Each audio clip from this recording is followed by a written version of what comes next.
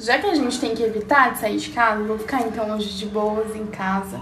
Vou aproveitar para fazer minha máscara de argila verde da Liotte, que ela ajuda no controle de oleosidade, ajuda na acne, é, fecha os poros, faz aquele detox na pele, sabe? É muito mara. É, então vou fazer aqui. Depois eu mostro pra vocês. Já passei a primeira mão de argila. Aí o como que, o que sobrou... Gente, aquele potinho pequenininho vai dar pra fazer mais umas duas a três vezes. É... Eu já passei a primeira mão da argila. Aí eu venho e o que sobra eu passo mais um pouco. Pra fazer uma camada bem grossa na pele. Pra não deixar esses branquinhos, tipo assim, sabe?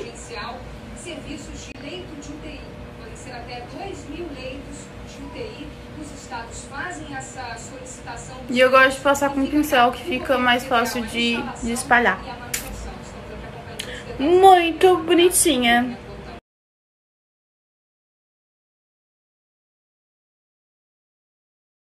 E uma dica bem legal é quando a máscara já estiver secando. Tá vendo que tá puxando já aqui?